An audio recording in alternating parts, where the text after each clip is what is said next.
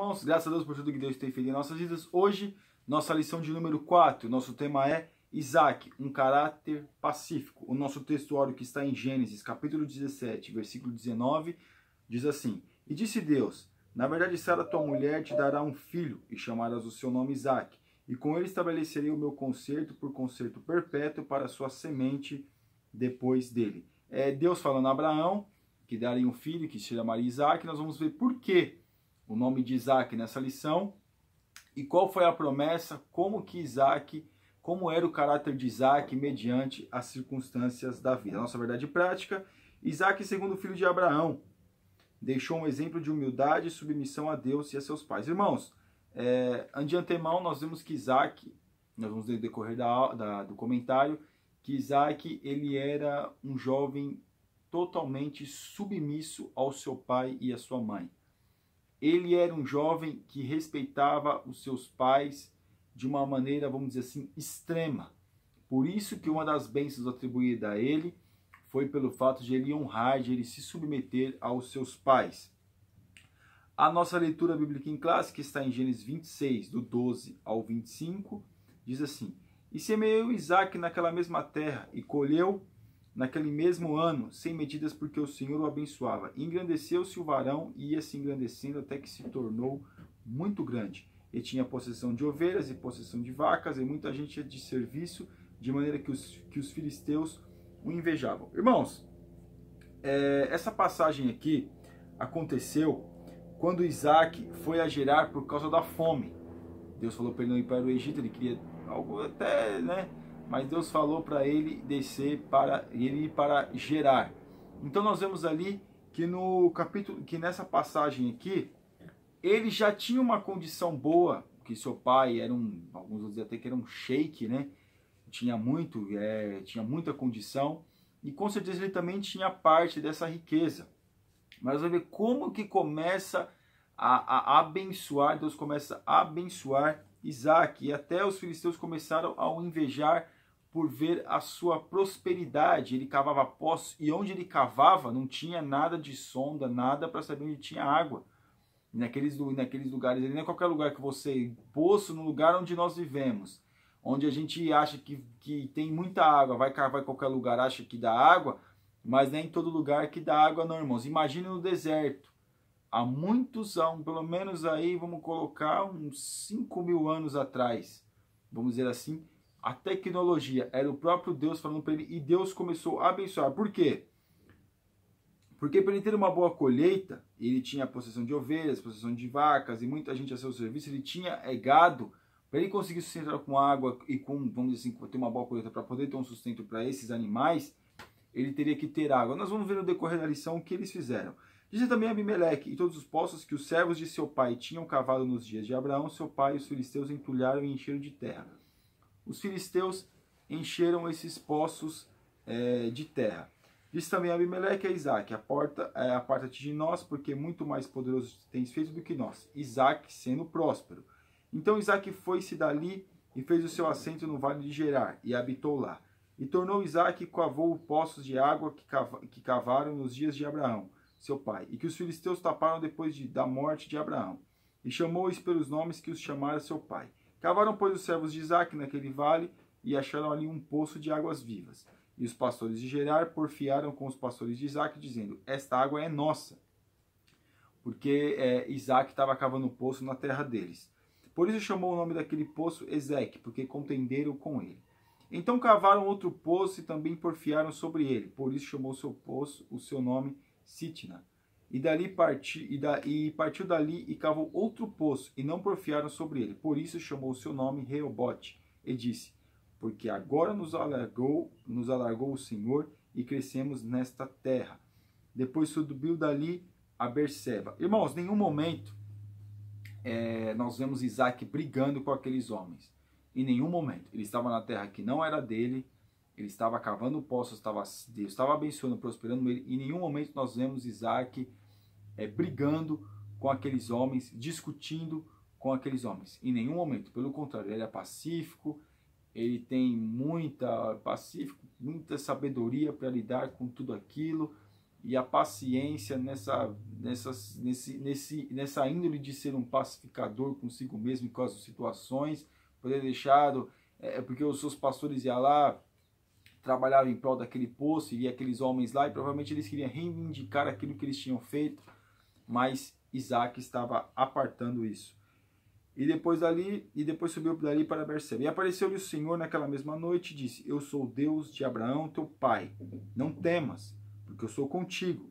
E abençoar-te-ei e multiplicarei a tua semente por amor de Abraão, meu servo. Então edificou ali um altar, invocou o nome do Senhor, e armou ali uma tenda, e os servos de Isaac cavaram ali um poço. Onde Isaac cavava poço tinha água. Onde Isaac colocava seu pé, Deus prosperava. Irmãos, outra coisa também.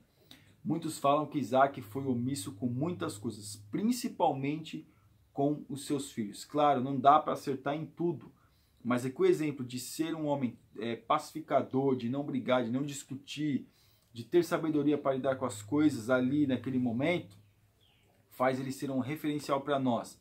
Por isso que eu reitero, Muitos dizem que ele foi omisso com os seus filhos, aquela situação toda, em vez de ele apartar, é, tinha preferência por filhos, né? mas isso aí não é a aula. A aula é de nós analisarmos o caráter de Isaac em relacionado a essas circunstâncias ao qual ele passou naquele momento. A nossa introdução. O caráter de uma pessoa é demonstrado por suas atitudes, testemunho e práticas. Isaac é um personagem da Bíblia que tem grande significado para a história do povo de Israel. Seu nome foi dado por Deus mesmo antes de seu nascimento, conforme Gênesis 17, 19. O significado de seu nome é interessante, quer dizer aquele que ri, ou ele ri, em alusão à reação de seu pai e de sua mãe quando o anjo anunciou seu nascimento, sendo seus pais de idade avançadíssimas. É, Isaac, ele é um milagre. Ele foi um milagre. Como um homem de quase 100 anos, a sua mulher também já beirando lá também os, os 100, tinham mais de tinham uns 90 anos, Sara, como que um casal que já vivia na mesma circunstância, não era antediluvianos, não, era pós-diluvianos, como eles tinham ter filhos. Talvez o, o anjo chegou, ó, vocês vão ser, ter a promessa e vocês vão ter filhos. Começaram a rir. Com certeza começou a achar aquele engraçado. Como pode, é que nem a gente vai ouvir alguma coisa é, que parece uma piada, um improvável, que é, não vai acontecer. A gente começa a rir. Então, é, o nome de Isaac foi colocado pela atitude que Abraão e Sara tiveram naquele momento que o anjo trouxe a mensagem. Isaac, filho da promessa, promessa de Deus a Abraão. É, para entender o caráter de Isaac, é importante conhecer a história que moldou sua personalidade e forjou seu caráter. A história de Isaac ocupa nada menos que nove capítulos de livro de Gênesis. Filho de Abraão e Sara, pela lógica humana, seu nascimento seria absolutamente impossível. O filho da promessa teria nascido fora de tempo na concepção dos homens quando Deus chamou Abraão para sair da sua terra e ir para uma terra estranha e fez-lhe promessas gloriosas. Irmãos, uma delas é que ele seria uma grande nação quando ele tinha 75 anos. Abraão já era idoso e sua esposa estéril parecia impossível casal ter um filho, quanto mais serem pais de uma grande nação. Irmãos, eu disse que Abraão tinha 100 anos. Abraão, quando Isaac nasceu, ele provavelmente tinha essa idade. Mas quando ele recebe a promessa para sair ali de, de, de Ur dos Caldeus, é, e ele recebe a promessa de vai ter que Deus vai fazer uma faria dele uma grande nação, ele tinha 75 anos. Mesmo 75 anos também é uma idade muito avançada para ter filhos. É claro, meus irmãos, nós vemos até nos dias de hoje, é possível que isso aconteça. É possível, mas isso é muito raro. Eu, particularmente, eu nunca vi nenhuma reportagem, nenhum documentário, nada que um homem de 75 anos ainda pudesse gerar filhos. Um homem ainda lá, mas uma mulher gerar filhos é outra história, né? A mulher já acaba passando dos costumes das mulheres.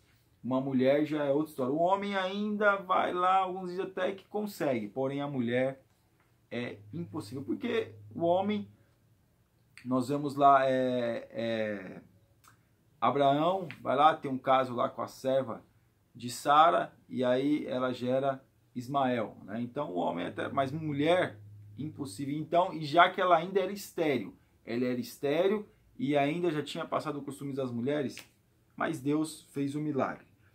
Seu nascimento é um verdadeiro milagre. Então, meus irmãos, é aquilo que nós estávamos falando, é, até reiterando aquilo que eu disse, é, quando, quando Abraão riu considerando coisa impossível para um homem de 100 anos e uma mulher de 90 anos. Percebendo Deus o pensamento de Abraão, lhe fez saber que ele é fiel. Por ter rido, o nome do menino seria Isaac, que significa riso ou aquele que ri. Sua mãe, ao saber teria um filho, é, teria um filho aos 90 anos, também não se conteve. A exemplo do marido também se riu no seu interior. Abraão, aos 100 anos, e Sara com 90, foram pais de um lindo bebê que causou espanto a todos que souberam daquele milagre. Abraão recebe a promessa com 75 anos, eu fiz até uma certa confusão aqui, mas Abraão recebe a promessa com 75 anos, que seria pai de uma grande nação, e quando ele tem 100 anos, o anjo vem falar que ele vai ter um filho. Então, nós vemos que tudo isso é um milagre, um milagre que aconteceu com Abraão e com Sara. Um homem abençoado por Deus, mas não é exatamente isso, meus irmãos, que eu gostaria de me focar no comentário um homem abençoado por Deus, a prosperidade espiritual. Depois da morte de seu pai, já cansado, já, já casado com Rebeca e pai de Esaú e Jacó, Isaac foi buscar abrigo em Gerar, na terra dos filisteus, para escapar da fome que ocorreu onde morava. Ali Deus lhe falou que não descesse ao Egito. Em tua semente serão benditas todas as nações da terra. Porquanto Abraão obedeceu a minha voz e guardou o meu, manda o, o meu mandado, os meus preceitos, os meus estatutos e as minhas leis. Assim habitou Isaac em Gerar.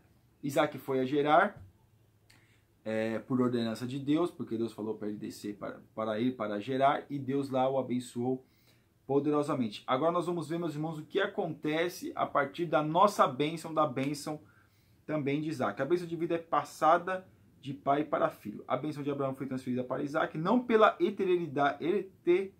hereditariedade em si, mas pela sua fidelidade a Deus. Seu caráter demonstrado em sua conduta agradou a Deus e ele prosperou espiritualmente. Irmãos, a bênção passou de pai para filho, não porque, é, vamos dizer assim, não porque tinha uma obrigação de Deus passar, não, porque Deus viu no coração de Isaac um coração bom para ser transferida essa bênção. Claro, Deus fez a promessa, falou que através de Abraão seria uma grande nação, e o filho considerado por Deus para receber essa bênção seria Isaac, não Ismael.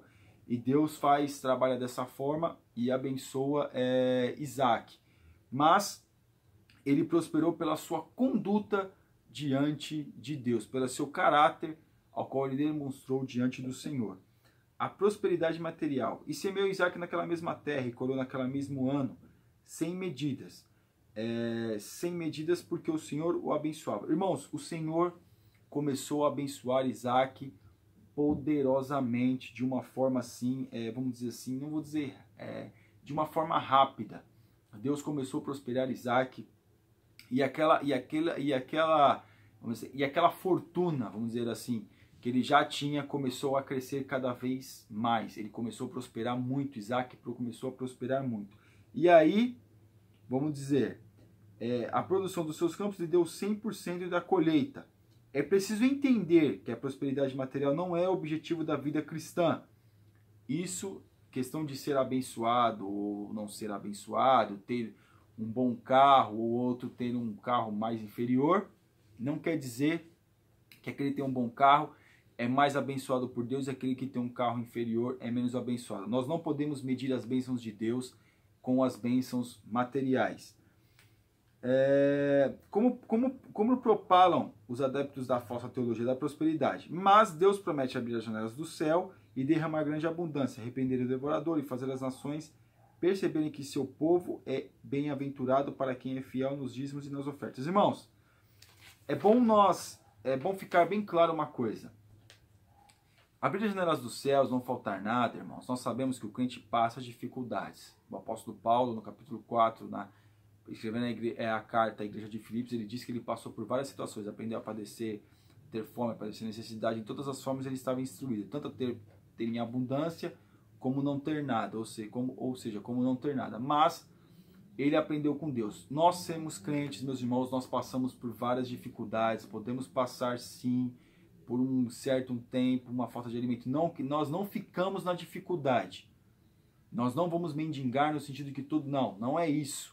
Nós passamos por dificuldades que todos nós passamos, meus irmãos. A, a chuva cai na cabeça do justo e cai na cabeça do ímpio. O sol nasce para todos. Então nós estamos sujeitos sim. Desculpa dizer isso, a teoria da prosperidade não deixa de dizer isso, mas eu não sou, eu não sou adepto à teologia da prosperidade, pelo contrário, eu a rejeito totalmente. Então, é, nós vemos o quê? Que o, o crente pode passar dificuldades, dificuldades financeiras, fica desempregado, tem prejuízo. Infelizmente, a gente fica triste, tem prejuízo. Às vezes acontece alguma coisa com, de repente, tem um carro, bate o carro e tem que arrumar e toda aquela situação. Às vezes a casa, acontece qualquer coisa. Às vezes no trabalho a pessoa fica desempregada. Então nós estamos sujeitos a várias situações. Porém, nós não permanecemos nessa situação. Deus permite que nós passemos por ela, não fiquemos nela. Então perceba que Deus ele repreende o devorador, ele repreende, mas nós não estamos imunes às dificuldades da vida. Nós não estamos imune, imunes às dificuldades desta terra. Então, nós é, aqui fazer é, é, e fazer as nações perceberem que seu povo é bem-aventurado para que é fiel nos dízimos e nas ofertas. Fiel também, meus irmãos. Nós estamos contentes se sentirmos, vamos dizer, prósperos, vamos dizer assim, com aquilo que nós temos. Se sentirmos, vamos dizer assim, é, como é que a gente pode falar? Se sentir feliz com aquilo que você tem. Não que, ah, mas então aqui tá, é para mim tá bom. Não, se Deus não der, se Deus der, amém. Se Deus não der, para mim, eu continuo confiando em Deus e amando a Deus. Nós não medimos a nossa vida com Deus com a prosperidade material. Nós medimos sim com a nossa vida espiritual, nossa comunhão com Deus, nossa vida com Deus e a presença de Deus na nossa vida. Aqui, vamos aqui para três lições do caráter de Isaac. Um homem esforçado e trabalhador. A prosperidade que Deus concedeu a Isaac chamou a atenção dos filisteus. A bênção de Deus era tão grande que incomodava os filisteus. As pessoas a quem Deus abençoa e os adversários e, e abençoa e os adversários ficam com inveja, desejando o mal aos servos de Deus. Mas a maldição não alcança os que são fiéis a Deus.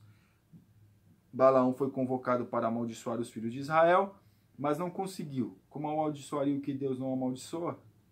Deus converteu a maldição em bênção. Quando nós estamos em ascensão em alguma coisa na nossa vida, em qualquer situação, meus irmãos, na área espiritual, na área material, na área sentimental, quando Deus está prosperando a nossa vida, sempre vai ter essas dificuldades, os invejosos. Sempre vai ter alguém que queria estar no seu lugar ou alguém que queria que, que gostaria que você não tivesse aquilo. Sempre vai ter alguém, meus irmãos, os cobiçosos, os invejosos, sempre nós vamos passar por isso. Quando nós estamos em ascensão, nós, Deus está resolvendo nos abençoar, nos dar e nos conceder, saiba, você vai passar por essa situação. Todos nós passamos. E Deus vai permitir que a gente passe por essa situação. Mas é para a gente ficar com raiva de ninguém, não, meus irmãos. É para a gente orar por essas pessoas e que Deus possa ajudá-las. O caráter pacífico de Isaac. Ao sofrer terrível oposição dos invejosos e ser aconselhado a sair do lugar onde prosperara, Isaac não fez questão alguma. Foi habitar no vale de Gerar. Honrando o nome e a memória do seu pai, Isaac reabriu os poços que seu pai abrira e foram tapados pelos filisteus. E chamou seus poços com os mesmos nomes dados por Abraão. Os pastores de Gerar questionaram os outros poços que Isaac abrira, mas ele não os confrontou. Isaac não queria problema. Irmãos, agora, o que, que tem na cabeça é, de alguém no lugar daquele, vamos dizer assim, que é um, vamos dizer, um deserto, porém é uma terra difícil. Ter poços lá, um povo, olha a mentalidade do povo, tem um poço lá, ao invés de usufruir do poço, vai e entulha o poço. Será que as pessoas não têm, não têm noção do que faz? É? Ao invés de usufruir daquilo, não. Quer parar com aquilo, quer tapar o buraco. Não quer que o poço venha dar água. Quer entulhar o poço. Colocava um monte de entulho lá e a, o poço não dava mais água. Ao invés de usufruir daquilo, que o servo de Deus tinha concedido? Não, preferiram brecar aquilo. É a mesma coisa na nossa vida, irmãos. Às vezes as pessoas usufruírem daquilo que a gente pode fazer, de repente um pastor dá um bom ensinamento, de repente o irmão tem uma boa pregação, de repente a pessoa da igreja é, é fiel a Deus, está ajudando, está prosperando, está ajudando na obra financeiramente, E às vezes as pessoas, ao invés de usufruírem de tudo isso, querem brecar essa pessoa, querem brecar essas pessoas. Tomemos cuidado, irmãos. Tomemos cuidado. E então também Isaac, ele não questiona os outros poços que os que aí questionou os outros poços que Isaac abriram, mas eles não os confrontou, ou seja, já aqui eles não eles estavam eles estavam requerendo o poço para o seu uso. Ou seja, o homem vai lá, faz alguma coisa, busca Deus e faz e Deus abençoa e quer tomar aquilo. Mas Isaac não viu isso com maus olhos. Vamos dizer assim. Ah, fica com o poço, estou na terra de vocês, fica com o poço. E foi abriu outros poços, né? Até que chegou um momento que eles não, vamos dizer assim, não encheram mais o saco de Isaac. Deixaram Isaac tranquilo, Isaac começou a usufruir, ainda Deus abençoando o mais ainda. Mas Isaac não cria conflito, não cria briga, porque se fosse com a, com a gente, meus irmãos, nós já queríamos, vamos dizer assim, já tiraríamos a peixeira, é, numa linguagem nordestina, já arriscava a faca vamos para cima. Não, Isaac não fez nada disso. Isaac foi pacífico e teve muita sabedoria, muita inteligência para lidar com essa situação. Um, um caráter resiliente. Após perder a posse dos dois postos, Isaac não desistiu mas do que resistente, ele foi resiliente, soube enfrentar as oposições sem se, sem se exasperar, soube praticar a longanimidade. Continuou mandando abrir os poços e partiu dali e cavou outro poço, e não porfiaram sobre ele. Por isso chamou seu nome Reobote, disse, porque agora nos alargou o Senhor e crescemos nessa terra. Era o poço de largamento concedido por Deus, livre da contenda, Isaac subiu dali a Berseba. Ali Isaac e Abimeleque, rei de Gerar, fizeram um juramento que se seriam amistosos. Daí Bertseba é, significa significar juramento ou poço do juramento. Em meio a essas experiências, apareceu-lhe o Senhor naquela mesma noite e disse: Eu sou o Senhor, Deus de Abraão, teu pai, não temas, porque eu sou contigo. Abençoar-te-ei, multiplicarei a tua semente, por amor de Abraão, meu servo. Chama Abraão de meu servo, fala de Isaac, fala com Isaac Isaac é abençoado, Deus vê tudo isso daí que ele fez, a sua sabedoria, fez um concerto com Abimeleque, rei de Bertseba, ali que ficava próximo de Gerar, ali, e eles foram amistosos um com o outro. Isaac não briga, pelo contrário, Isaac não desiste. Isaac viu que o povo pegou o poço, estava usufruindo do poço, ele não brigou, ele continuou trabalhando para Deus. Quantas vezes as pessoas querem brecar a nossa vida, Principalmente, irmãos, me dói no coração de ver quantos querem brecar os ministérios daqueles que querem fazer a vontade de Deus com sinceridade, com amor no coração. Irmãos, quantas vezes nós vemos, vemos isso acontecendo dentro da igreja? E não é, isso é uma, é uma, é uma indignação que eu tenho. E quantas vezes, meus irmãos, não é o, o membro da igreja, não, são homens do mais alto escalão que fica brecando homens que querem fazer a vontade de Deus dentro da igreja. Infelizmente, isso é grave. Porém, Deus sabe de todas as coisas.